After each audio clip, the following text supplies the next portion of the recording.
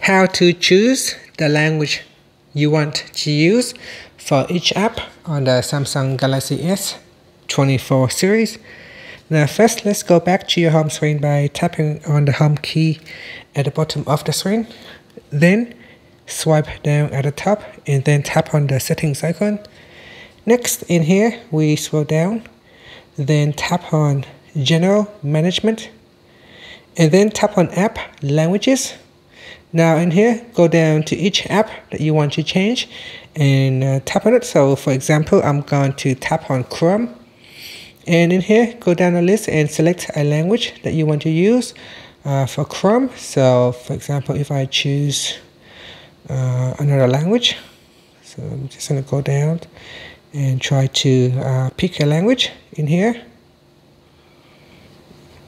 So let's just pick this uh, language right here and if I open up the Chrome app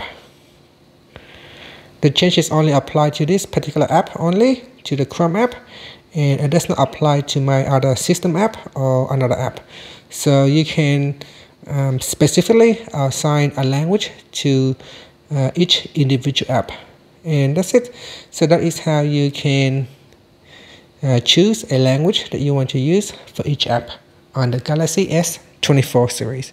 Finally, you can tap on the home button to go back to the home screen. Thank you for watching this video. Please like and subscribe to my channel for more videos.